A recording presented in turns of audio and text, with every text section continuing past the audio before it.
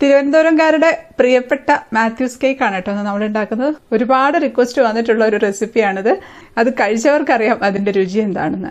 ഇപ്പൊ ക്രീമോ വിപ്പിംഗ് ക്രീമോ ഒന്നും കിട്ടാത്തവർക്ക് ബർത്ത്ഡേക്ക് ഒരു കേക്ക് കഴിക്കണമെന്ന് തോന്നുമ്പോൾ ഉണ്ടാക്കാൻ പറ്റിയ ഒരു കേക്കാണ് ഇതിൽ നമ്മൾ വിപ്പിംഗ് ക്രീമോ യാതൊരു വിധത്തിലുള്ള ക്രീമുകളും ഉപയോഗിക്കുന്നില്ല. അത് മാത്രമല്ല ഓവൻ ഇല്ലാതെയാണ് ഉണ്ടാക്കുന്നത്. അതുകൊണ്ട് എല്ലാവർക്കും ഉണ്ടാക്കാം. അപ്പൊ നമുക്ക് നല്ല സോഫ്റ്റ് മോയിസ്റ്റ് ആയിട്ടുള്ള മാത്യൂസ് കേക്ക് എങ്ങനെയാണ് ഉണ്ടാക്കുന്നത് കാണാം. അപ്പോൾ നമ്മുടെ മാത്യൂസ് കേക്ക് ഉണ്ടാക്കാനായിട്ട് അര കപ്പ് മൈദ ഒരു അരിപ്പയിലേക്ക് ഇട്ട് കൊടുക്കാം. ഒരു മുക്കാൽ teaspoon baking powder baking soda ചേർക്കുന്നില്ല. ഒരു രണ്ട് നുള്ളു ഉപ്പ്. ഒരു ഒന്നര ടേബിൾ സ്പൂൺ കൊക്കോ പൗഡർ ഇതെല്ലാം കൂടെ നമുക്കൊന്ന് അരിച്ചെടുക്കാം. ഒരു മൂന്ന് പ്രാവശ്യം അരിച്ചെടുത്തങ്ങ് മാറ്റി വയ്ക്കാം അത് നന്നായിട്ടൊന്ന് മിക്സ് ആയി കിട്ടാനാണ്. ഇനി നമുക്ക് നമ്മുടെ ഓവൻ സെറ്റപ്പ് റെഡിയാക്കി വെക്കാം. സാധാരണ അലൂമിനിയം പാത്രമാണ്. അതിലേക്ക് ഒരു റിങ് ഇറക്കി വെച്ചിട്ടുണ്ട്. അടച്ചു വെച്ച് ഹൈ ഫ്ലെയിമിൽ അങ്ങ് ചൂടാക്കിയെടുക്കാം. ആ സമയത്ത് നമുക്ക് ഒരു മുട്ട പൊട്ടിച്ചൊഴിച്ചു കൊടുക്കാം. റൂം ടെമ്പറേച്ചറിലുള്ളതാണ് അത് നന്നായിട്ടൊന്ന് പതപ്പിച്ചെടുക്കാം. പതപ്പിച്ചതിന് ശേഷം ഒരു അര ടീസ്പൂൺ വാനില എസൻസ് ചേർത്ത് കൊടുക്കാം. വാനില എസൻസും കൂടെ ചേർത്ത് നന്നായിട്ടൊന്ന് അടിച്ചെടുക്കാം. ബീറ്റർ ഉള്ളവർ ബീറ്റർ വെച്ച് ചെയ്യാം. അപ്പോൾ അത് ഒന്ന് പതഞ്ഞിട്ടുണ്ട്. നമുക്ക് ഒരു ഏഴ് ടേബിൾ സ്പൂൺ പഞ്ചസാര മിക്സിയിലെ ജാറിലിട്ട് നന്നായിട്ടൊന്ന് പൊടിച്ചെടുക്കാം. ഇനി ഈ പൊടിച്ചെടുത്തത് നമുക്ക് മുട്ടയിലേക്കിട്ട് നന്നായിട്ടങ്ങ് അടിച്ചങ്ങ് പതപ്പിക്കണം. നല്ല അടിച്ച് പതപ്പിച്ച് നല്ല വൈറ്റ് കളറായിട്ട് വരണം ഈ ഒരു മിക്സ് നല്ല വൈറ്റ് കളറായിട്ട് വന്നിട്ടുണ്ട്. ഇനി നമുക്കിതിലേക്ക് ചേർക്കേണ്ടത് റൂം ടെമ്പറേച്ചറിലുള്ള അധികം പുളിയില്ലാത്ത തൈരാണ്. രണ്ടര ടേബിൾ സ്പൂൺ തൈര് ചേർത്ത് കൊടുക്കാം. ഞാനിപ്പോൾ ചേർക്കുന്നത് മിൽമയുടെ എലൈറ്റ് എന്ന് പറഞ്ഞ കേടില്ലേ? അതാണ്. നന്നായിട്ടൊന്ന് മിക്സാക്കി എടുത്തിട്ടുണ്ട്. ഇനി നമുക്ക് ചേർക്കേണ്ടത് ബട്ടറാണ്. അമ്പത് ഗ്രാം ബട്ടർ ചേർത്ത് കൊടുക്കാം. ഇപ്പോൾ ബട്ടറിന് പകരം ഓയിൽ വേണമെങ്കിൽ ചേർക്കാം കേട്ടോ. ഒരു കാൽ കപ്പ് ഓയിൽ ചേർത്ത് കൊടുത്തിരുന്നാൽ മതി. പക്ഷേ ടേസ്റ്റ് കൂടുതൽ ബട്ടർ ചേർക്കുമ്പോഴാണ് കാരണം മാത്യൂസ് കേക്കിന്റെ ആ ഒരു ഫ്ലേവർ തന്നെ ബട്ടർ ചേർത്തിട്ടുള്ള ഒരു ഫ്ലേവറാണ് അതും നല്ല സോഫ്റ്റ് ആയിട്ടുള്ള ബട്ടർ വേണം ചേർക്കാൻ. കട്ടിയുള്ളത് ചേർക്കരുത്. മെൽട്ടാക്കിയും ചേർക്കരുത്. ഇതേപോലെ ചേർത്താൽ മതി. എന്നിട്ട് നമുക്ക് നന്നായിട്ടൊന്ന് മിക്സാക്കി കൊടുക്കാം. ഇപ്പോൾ ബട്ടറും കൂടെ ചേർത്ത് മിക്സാക്കി വരുമ്പോഴത്തേക്കും കുറച്ചൊരു പിരിഞ്ഞ പോലെ ഉണ്ടാവും കേട്ടോ അത് കുഴപ്പമൊന്നുമില്ല. ബട്ടർ നന്നായിട്ട് മിക്സ് ആവണേ ഇനി നമുക്കതിലേക്ക് അരിച്ചു വെച്ചിരിക്കുന്ന പൊടികൾ ചേർത്ത് കൊടുക്കാം. അതൊരു മൂന്ന് പ്രാവശ്യമായിട്ട് കുറേശ്ശായിട്ട് മിക്സ് ആക്കി എടുക്കാം. അപ്പോൾ ശരിക്കും പറഞ്ഞാൽ ഈ മാത്യൂസ് കേക്ക് എന്ന് പറയുന്നത് നമ്മുടെ ട്രിവാൻഡ്രത്തുള്ള ഒരു പ്രായമായിട്ടുള്ള ഹസ്ബൻഡും വൈഫും കൂടെ നടത്തുന്ന ഒരു സ്ഥാപനം കേട്ടോ അപ്പോൾ അവരുടെ സെയിൽ കുറയ്ക്കാനൊന്നും അല്ല കേട്ടോ ഞാൻ ഈ ഒരു വീഡിയോ ചെയ്യുന്നത്. ഇപ്പോൾ ട്രിവാൻഡ്രത്തുള്ളവർക്കൊക്കെ വേണമെങ്കിൽ ഗൂഗിളിലൊന്ന് മാത്യൂസ് കേക്ക് എന്ന് സെർച്ച് ചെയ്ത് നോക്കി അവരുടെ കോൺടാക്ട് നമ്പർ കിട്ടും. അതിൽ ഒന്ന് വിളിച്ച് ബുക്ക് ചെയ്ത് കഴിഞ്ഞാൽ പോയി വാങ്ങിക്കാം. അല്ലാതെ പുറത്തൊക്കെ ഉള്ളവർക്കാണെന്നുണ്ടെങ്കിൽ കിട്ടില്ലല്ലോ. അപ്പോൾ അവർക്ക് വേണ്ടിയിട്ടാണ് ഞാൻ ഈ ഒരു വീഡിയോ ചെയ്യുന്നത്. പിന്നെ ടേസ്റ്റ് എന്ന് പറയുകയാണെങ്കിൽ ഓൾമോസ്റ്റ് സെയിം ടേസ്റ്റ് തന്നെയാണ്. അപ്പം എക്സാക്ട്ലി അതേ ടേസ്റ്റ് നമുക്ക് പറയാൻ പറ്റില്ല. കാരണം അതൊക്കെ അവരുടേതായിട്ടുള്ള യുണീക്കായിട്ടുള്ള റെസിപ്പി ആയിരിക്കുമല്ലോ. എന്നാലും മാക്സിമം ഞാൻ അതേ ടേസ്റ്റ് കൊണ്ടുവരാൻ തന്നെ ശ്രമിച്ചിട്ടുണ്ട്. അതെല്ലാം ഇട്ട് മിക്സ് ആക്കിയിട്ടുണ്ട്. ഇനി നമുക്ക് ഇതിലേക്ക് ഒരു ഒരു ടേബിൾ സ്പൂൺ ഇളം ചൂട് പാൽ ചേർത്ത് കൊടുക്കാം. ഇപ്പോൾ മുട്ടയുടെ വലുപ്പത്തിനനുസരിച്ചൊക്കെ ചിലപ്പോൾ പാലിന്റെ അളവ് കൂട്ടേണ്ടി വരും. ഇപ്പോൾ ഞാൻ ഒരു ടേബിൾ സ്പൂൺ കൂടി ഒഴിക്കുന്നുണ്ട്. രണ്ട് ടേബിൾ സ്പൂൺ ഒഴിച്ചിട്ടുണ്ട് മൊത്തം. ഇത് മതി. ഇത് എന്റെ ബാറ്റർ എന്ന് പറഞ്ഞാൽ നമ്മൾ സാധാരണ ചോക്ലേറ്റ് കേക്കൊക്കെ ഉണ്ടാക്കുമ്പോൾ നല്ല ലൂസായിട്ടുള്ള ബാറ്ററൊക്കെ ഉണ്ടാക്കി ഉണ്ടാക്കില്ലേ? അതുപോലെയല്ല നല്ല തിക്കായിട്ടുള്ള ബാറ്റർ ആയിരിക്കണേ. ഒരുപാട് തിക്കാവണ്ട. ഈ ഒരു തിക്നെസ് മതി. നമുക്ക് ഒരു ആറ് ഇഞ്ചോ അല്ലെങ്കിൽ ഏഴ് ഇഞ്ചോ വരുന്ന ഒരു ബേക്കിംഗ് ട്രേ എടുക്കാം. ബട്ടറോ ഓയിലോ ഗ്രീസ് ചെയ്ത് കൊടുക്കാം. ഒരു ബട്ടർ പേപ്പറും കൂടെ വെച്ചിട്ടുണ്ടേ. നമുക്കതിലേക്ക് ബാറ്റർ ഒഴിച്ച് എല്ലായിടത്തുമായിട്ട് അങ്ങ് നിരത്തി കൊടുക്കാം. ഇപ്പോൾ കുറച്ച് തിക്കായതുകൊണ്ട് പെട്ടെന്ന് അങ്ങ് സ്പ്രെഡ് ആക്കി എടുക്കാൻ പറ്റില്ല. നല്ല സ്പാച്ചുല വെച്ച് എല്ലായിടത്തും അങ്ങ് നിരത്തി കൊടുത്താൽ മതി. എന്നിട്ട് നന്നായിട്ടൊന്ന് ടാപ്പ് ചെയ്ത് കൊടുക്കുമ്പോഴത്തേക്കും അതൊന്ന് കുറച്ചൊന്ന് ലെവലായി കിട്ടിക്കോളും. അതുപോലെ എയർ ബബിൾസ് ഉണ്ടെങ്കിൽ അതങ്ങ് റിലീസ് ആയിക്കോളും. അപ്പോൾ നമ്മുടെ ഓവൻ സെറ്റപ്പ് നല്ല ചൂടായി കിടക്കുകയാണ്. അതിലേക്ക് നമുക്ക് ഇറക്കി വെച്ച് കൊടുക്കാം. അഞ്ച് മിനിറ്റ് ഹൈ ഫ്ലെയിമിൽ ചൂടാക്കിയതാണ്.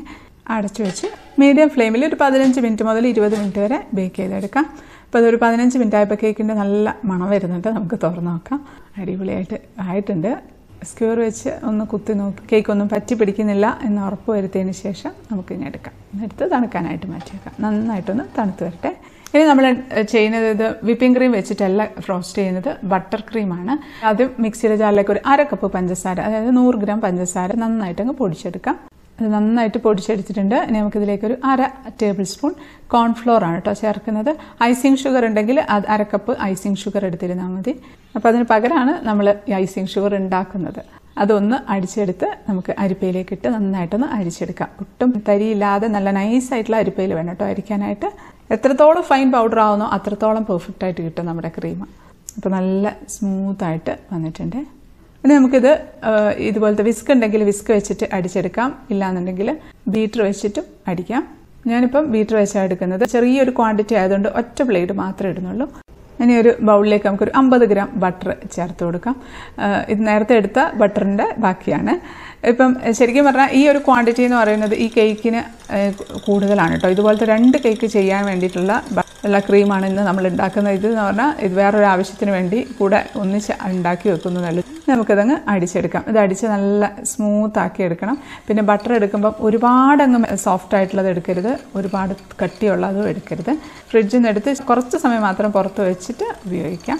ഈ ബട്ടർ അടിച്ചിട്ട് നല്ല വൈറ്റ് കളർ ആവണം കേട്ടോ. ബട്ടറിലേക്ക് ഒരു നുള്ളു ഉപ്പും കൂടെ ചേർത്തിട്ടുണ്ട് കേട്ടോ. അൺസോൾട്ടഡ് ബട്ടർ വേണം എടുക്കാനായിട്ട്. കാരണം സോൾട്ടഡ് എടുത്താൽ ഇതിൽ ഉപ്പ് കൂടിപ്പോവും. ആവശ്യത്തിനുള്ളത് നമ്മൾ ഇട്ട് കൊടുത്താൽ മതി.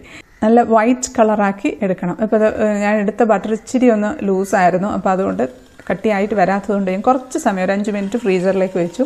അങ്ങനെ വെച്ചിട്ട് നമുക്കെടുത്ത് അടിച്ചാൽ മതി. തണുപ്പില്ലാന്നുണ്ടെങ്കിൽ വൈറ്റ് കളർ ആവാൻ ബുദ്ധിമുട്ടായിരിക്കും. അതുകൊണ്ട് ഇപ്പം അടിച്ചെടുത്തപ്പോഴത്തേക്കും നല്ല വൈറ്റ് കളറായി വന്നിട്ടുണ്ട്. അത് മതി.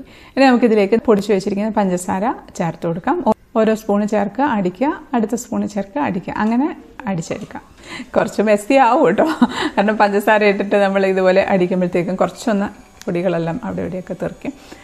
പിന്നെ കുറച്ച് കുഴിയുള്ള പാത്രം എടുത്താൽ മതി. ഞാൻ അത്ര കുഴിയില്ലാത്ത പാത്രമാണ് എടുത്തത്. അപ്പോൾ ഇത് നല്ല തിക്കായിട്ട് വന്നിട്ടുണ്ട്. ഇനി ഇതിലേക്ക് നമുക്കൊരു കാൽ ടീസ്പൂൺ വാനില എസൻസ് ചേർത്ത് കൊടുക്കാം. ചേർത്തിട്ടില്ലെങ്കിലും കുഴപ്പമൊന്നുമില്ല. പക്ഷേ ചേർത്താൽ നല്ലൊരു ടേസ്റ്റ് ആയിരിക്കും. അതുകൂടെ ചേർത്ത് ഒന്നെല്ലാം കൂടെ ഒന്ന് മിക്സ് ആക്കി എടുത്താൽ മതി. ഒരുപാട് സമയം അടിക്കണ്ട. ഇതുണ്ട് ഇതിപ്പം ഈ ഒരു ക്വാണ്ടിറ്റി ഉണ്ട്. നമുക്കിത് മുഴുവൻ വേണ്ട. നമുക്കിതിന്റെ പകുതിയോളം ഒക്കെ മതി. ഈ ഒരു കേക്കിന്. ഇപ്പോൾ നമ്മുടെ കേക്ക് നന്നായിട്ട് തണുത്തിട്ടുണ്ട്. നമുക്ക് ഡിമോൾഡ് ചെയ്തെടുക്കാം. നല്ല സോഫ്റ്റ് ആയിട്ടിരിക്കുന്ന കേക്കാണ്. എന്നാൽ നല്ല മോയിസ്റ്റ് ആയിട്ടുള്ള കേക്കാണ്. ഒരുപാട് അങ്ങ് പൊടിഞ്ഞു പോകുന്ന ടൈപ്പ് കേക്കും അല്ല. അങ്ങനത്തെ കേക്കാണ് കേട്ടോ വേണ്ടത്.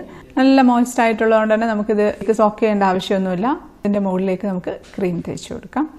ഈ ഒരു കേക്ക് എന്ന് പറഞ്ഞാൽ ഒരുപാട് അങ്ങ് ഹൈറ്റ് നമ്മൾ സാധാരണ കേക്ക് ചെയ്യുന്ന ആ ഒരു ഹൈറ്റിൽ ചെയ്യരുത്. കാരണം ഒറ്റ ലെയർ മാത്രമുള്ള ഒരു കേക്കാണ്. അതുകൊണ്ട് ഒരുപാട് ഹൈറ്റ് ആയി കഴിഞ്ഞാൽ ഒരു ടേസ്റ്റ് ഉണ്ടാവില്ല. എല്ലായിടത്തുമായിട്ട് അത് തേച്ചിട്ടുണ്ട്. എന്നിട്ട് പാലറ്റ് നൈഫ് വെച്ച് നമുക്ക് ചെറിയൊരു ഡിസൈൻ പോലെ ചെയ്ത് കൊടുക്കാം ഇങ്ങനെ ഡിസൈൻ ഒന്നും ഇല്ല കേട്ടോ. അതിന്റെ മുകളിൽ വെറുതെ തേച്ച് വെച്ചിട്ടേ ഉള്ളൂ. കാണാൻ ഒരു വലിയ ലുക്കൊന്നും ഉണ്ടാവില്ല. പക്ഷെ കഴിക്കാൻ അടിപൊളി ടേസ്റ്റ് ആണ് ഈ മാത്യൂസ് കേക്ക് എന്ന് പറയുന്നത് നമ്മളിപ്പോൾ വാങ്ങിക്കുന്ന സമയത്ത്. അതേപോലെ തന്നെ ഓൾമോസ്റ്റ് അതേ ടേസ്റ്റ് തന്നെയുള്ളൊരു കേക്കാണിത് ഇത്രയേ ഉള്ളൂ. ഇത് നമുക്ക് ഫ്രിഡ്ജിൽ വെച്ച് കുറച്ച് തിക്കാക്കിയിട്ട് വേണേൽ കഴിക്കാം. ഇല്ലെങ്കിൽ ഇതുപോലെ നല്ല സോഫ്റ്റ് ആയിട്ടുള്ള ക്രീമോട് കൂടി കഴിക്കാം. ഇല്ലെങ്കിൽ കുറച്ച് തിക്കായിട്ടുള്ള ക്രീം അതും ടേസ്റ്റ് ആട്ടോ ഫ്രിഡ്ജിൽ വെച്ചിട്ട് നമ്മൾ എടുത്ത് കഴിക്കുമ്പോൾ അതിന് പ്രത്യേക ടേസ്റ്റ് തന്നെയാണ്. നന്നായിട്ട് എയർ ടൈറ്റ് ആയിട്ട് അടച്ച് വെക്കണം. ഓപ്പൺ ആക്കി വെക്കരുത് ഈ കേക്ക് ഫ്രിഡ്ജിൽ വെക്കുമ്പോൾ. കാരണം കേക്ക് അങ്ങ് ഡ്രൈ ആയിപ്പോവും. അങ്ങനെ ആവാതിരിക്കാൻ നല്ല എയർ ടൈറ്റ് ആയിട്ട് അടച്ച് വെക്കുക. കട്ട് ചെയ്തെടുക്കാം. ഞാനിതിപ്പോൾ തന്നെ അങ്ങ് കട്ട് ചെയ്യാണ് കട്ട് ചെയ്യുമ്പോൾ തന്നെ മനസ്സിലാകുന്നില്ലേ സോഫ്റ്റ് ആയിട്ടുള്ള കേക്കാണ് ഇതിപ്പോൾ ശരിക്കും വിപ്പിംഗ് ക്രീം ഒന്നും എല്ലാവർക്കും കിട്ടില്ല. ബട്ടർ എല്ലായിടത്തും കിട്ടുന്ന ഒരു സംഭവമാണ്. ഇപ്പോൾ ബർത്ത്ഡേ ഒക്കെ ആണെന്നുണ്ടെങ്കിലും നമുക്ക് തന്നെ വീട്ടിൽ ഇതുപോലൊരു കേക്ക് ഉണ്ടാക്കാം. വലിയ ചിലവൊന്നുമില്ല. ശരിക്കും പറഞ്ഞാൽ ഒരു നൂറ് രൂപ ഒക്കെ ഇതിന് ചിലവ് വരുന്നുള്ളൂ. ശരിക്കും ഇത് ഒരു പ്രാവശ്യം കഴിച്ചു കഴിഞ്ഞാൽ വീണ്ടും കഴിക്കണം എന്ന് തോന്നുന്ന ഒരു കേക്കാണ്. അപ്പോൾ ശരിക്കും ഇതിന്റെ വെയിറ്റ് എന്ന് പറയുന്നത് ഒരു മുന്നൂറ്റി അമ്പത് ഗ്രാം ഒക്കെയാണുള്ളത്. നമുക്കൊന്ന് ടേസ്റ്റ് ചെയ്ത് നോക്കാം. കഴിക്കട്ടെ?